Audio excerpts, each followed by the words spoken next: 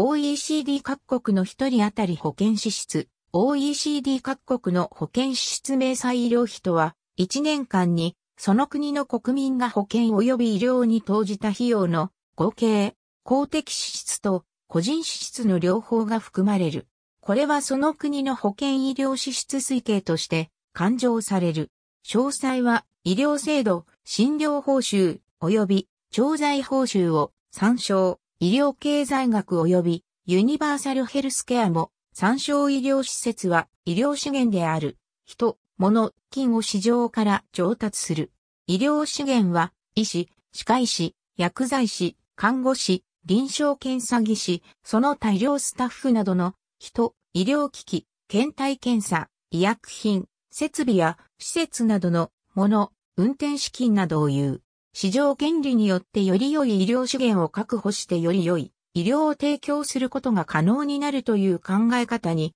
基づいているが、医師や看護師が条件が良い医療機関、診療科目や都市に集中したり、立ち去りも自由であるため、診療科や地方によっては、不足するなどの現象が起こり得る。医療資源を集中させて、医療の効率や医療機能高度化を図ると同時に、受診の容易さや医療内容の平等性等のためには、医療資源の分散化も必要である。医療資源の集中と分散のバランスを保ちながら、医療費増加を制御する必要があり、その舵取りは難しい。医療費を医師による疾病の診断と治療に必要な費用とそれ以外の費用に分ける考え方がある。ホスピタルフィーには、看護、事務等様々な医療スタッフの費用や、臨床検査、薬局、医薬品の費用が含まれている。医療費抑制政策では、ホスピタルフィー関連の引き下げ幅が、ドクターフィー引き下げ幅より大きいことが多い。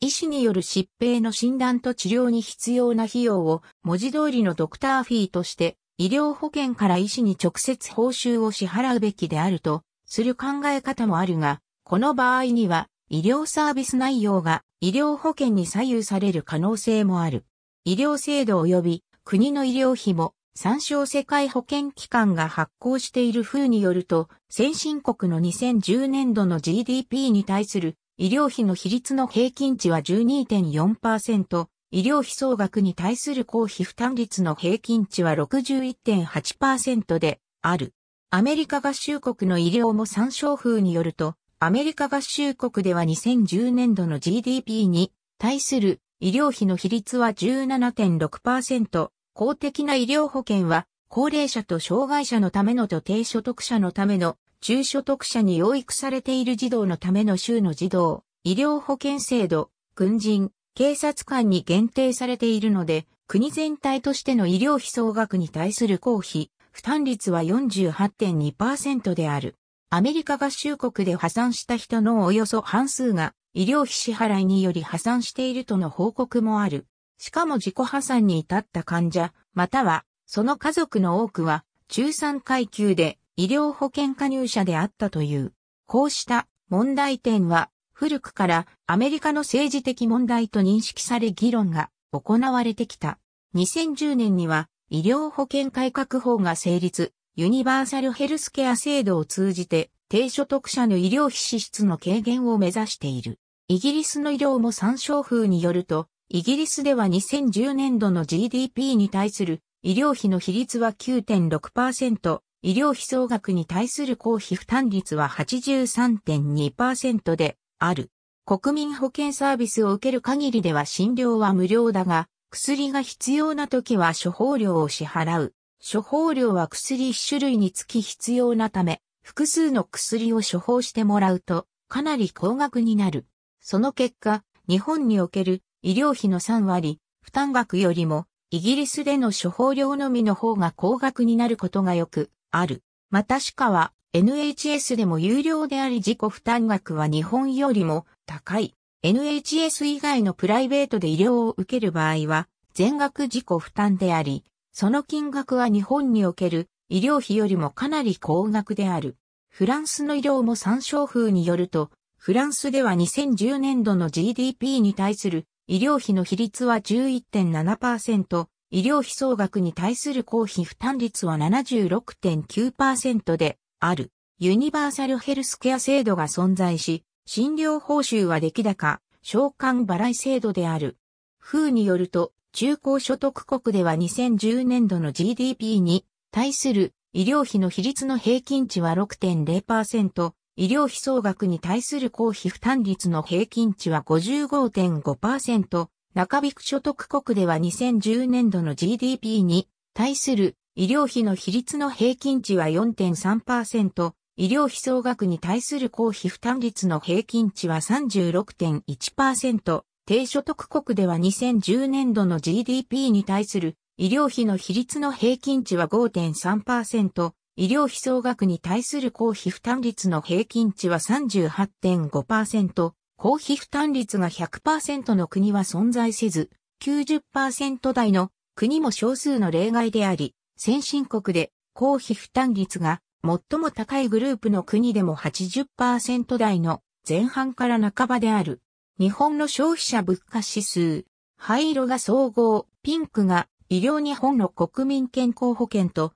後期高齢者医療制度における年齢別医療費。青は入院、赤は外来、緑は歯科、紫は100人あたり年間受診回数。日本の医療も参照日本ではユニバーサルヘルスケア制度が実現され、病気や障害からの回復、病気や障害の進行の遅延、心身の機能維持などの生命や健康の維持に必要な医療は公的な医療保険が適用される。自己負担として3から69歳の患者は医療費の3割、0から2歳の小児は2割、70歳以上の高齢者は1割を窓口で支払う。それらとは関係ない美容整形、歯科矯正、人工授精、体外受精、代理出産、性転換手術などの医療は公的保険対象外の自由診療であり、全額自己負担となる。医療機関の経営改善を目的に、特定機能病院や一部の民間病院では、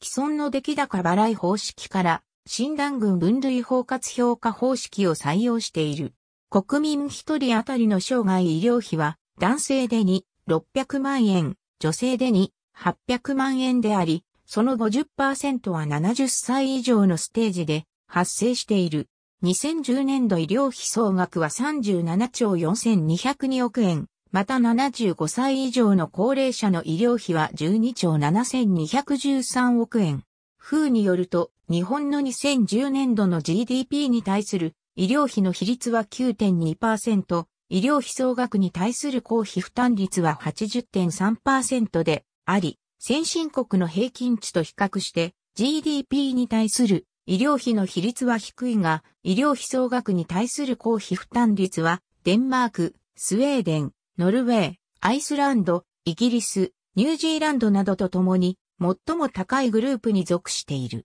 2006年からは、保健医療機関等から受け取る医療費の内容のわかる領収書には医療内容区分ごとの点数が記載され、会計窓口で支払う負担金の計算根拠が表示されている。日本経済新聞が人口20万人以上の約130市区を調査したところ、神奈川県茅ヶ崎市は年間医療費が最小で全国平均より14万円も少なかった。年間介護費には増加傾向はなく、年間医療費のような相関性は確認されなかった。トップの茅ヶ崎市の老衰市との再開の自治体間での格差は男性最大6.8倍、女性で4.3倍であった。死因が最も健康な市である老衰が最多の割合を占めた茅ヶ崎市は全国平均を100とする死亡率で見ると210.2で全国平均の2倍の高さであった。同市の75歳以上の1人当たりの医療費は年間79.2万円で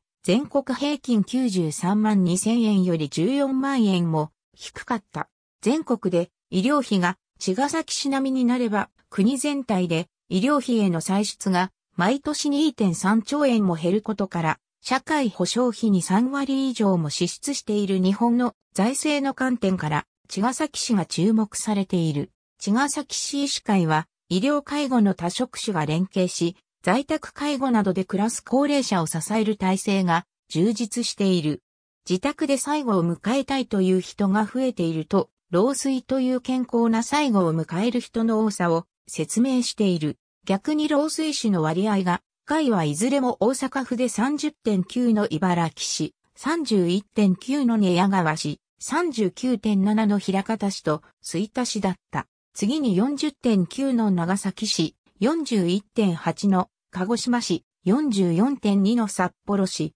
47.4の那覇市であった。茨城市の75歳以上の一人当たりの年間医療費は、額では最多自治体ではないものの106万6621円であった。薬価、編集日本においては、保険適用の医薬品価格は、公定価格制である。療養費、編集針師、休止アンママッサージ指圧師が行う手術、柔道整復師が行う手術の費用は療養費と呼ばれ、手術費用の取り扱いで異なるものの、公的医療保険とほぼ同様に扱われる。国民医療費とは、単年度内の医療機関等における傷病の治療に要する費用を推計したものである。公費負担医療給付分、公的医療保険等給付分、後期高齢者医療給付分の原則として、診療についての支払い確定額をもって、患者が支払う一部負担額と医療費の全額を患者が支払う全額自費推計し、以上を合算することにより推算される。